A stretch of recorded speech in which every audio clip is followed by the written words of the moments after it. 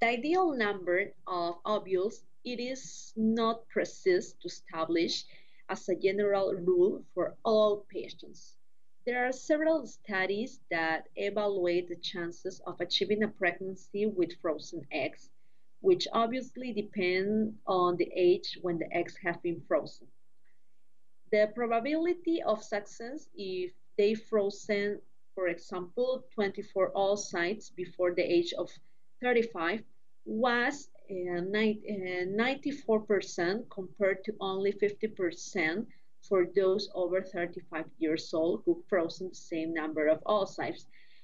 I have been reviewing some studies.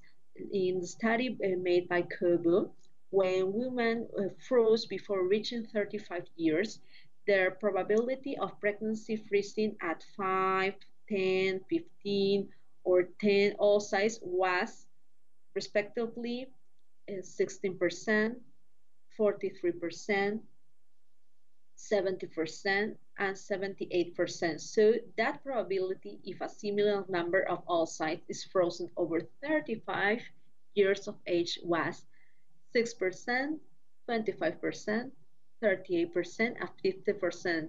So that is the need to freeze before age 35.